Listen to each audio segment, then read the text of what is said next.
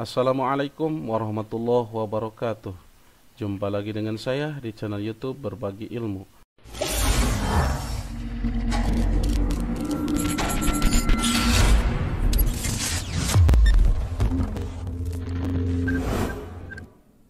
Pada pembahasan kali ini saya akan membahas bagaimana cara merapihkan teks bondaris di Microsoft Word versi 2019.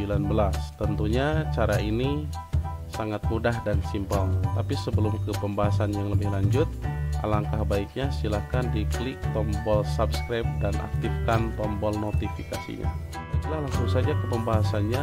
Bagaimana cara merapikan teks bondaris di Microsoft Word 2019 Langkah yang pertama silahkan dibuka terlebih dahulu Microsoft Word-nya. Oke, kemudian blank dokumen. Nah di sini teks bondarisnya masih kosong ya kalau kita munculkan akan seperti ini. Option lalu advance kemudian show text bondaris nah seperti ini. Nah teks bondaris ini atau garis tepi ini biasanya ini banyak garis-garisnya. Kalau kita mengetik misalkan seperti ini. Nama saya enter lagi adalah nah ini kurang enak dipandang ya uh, teks bondaris di Microsoft Word 2019 tapi tenang saja kali ini saya akan memberikan tips ataupun trik yang lain cara memunculkan teks bondaris teks bondaris seperti ini saya hilangkan terlebih dahulu oke okay. so teks bondarisnya dicentang kembali diancentang ya kemudian oke okay. Ini hapus saja ya.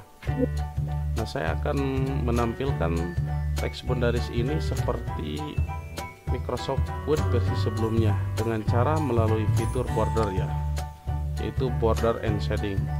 Oke, langkah yang pertama silahkan klik menu home. Yang ini menu home silahkan diikuti saya akan perlambat.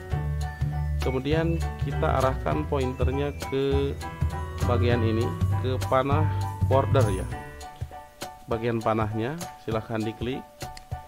Lalu langkah yang selanjutnya silahkan arahkan ke border and shading yang ini.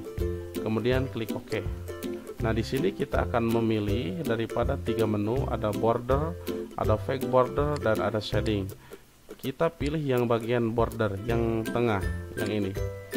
Nah lalu yang selanjutnya di bagian stylenya kita pilih yang ada titik-titiknya. Yang ini yang nomor 2 nanti titik-titik seperti ini akan seperti teks bondaris versi sebelumnya ya. Kemudian setelah itu klik OK. Nah ini teks bondarisnya sudah nampak namun belum sempurna ya. Kita samakan halnya seperti Microsoft Word versi sebelumnya 2007 ataupun yang lainnya. Caranya adalah silahkan klik menu home kembali. Lalu kita pilih uh, border lagi yang bagian panahnya. Kemudian kita ke border and shading lagi. Lalu di sini kita masuk back border kemudian option yang ini option. Lalu di bagian ininya di measure formnya kita klik panah lalu klik bagian teks yang ini nah ini akan mengikuti daripada uh, garis tepi sesuai ukuran kertas ya. Kemudian klik OK. Lalu klik OK. Nah sama halnya seperti teks bondaris versi sebelumnya ya. Nah inilah tips atau trik bagaimana cara memunculkan teks bondaris di Microsoft Word versi 2019 kita tes ya apakah akan seperti tadi. Kita ketikkan sembarang enter tidak muncul. Enter lagi tidak muncul. Tidak muncul ya. Misalkan kita mau ke halaman 2 apakah akan berubah kembali atau tetap saja seperti ini? Kita enter saja atau kita masuk layout kemudian break kemudian next back itu kan sama ya.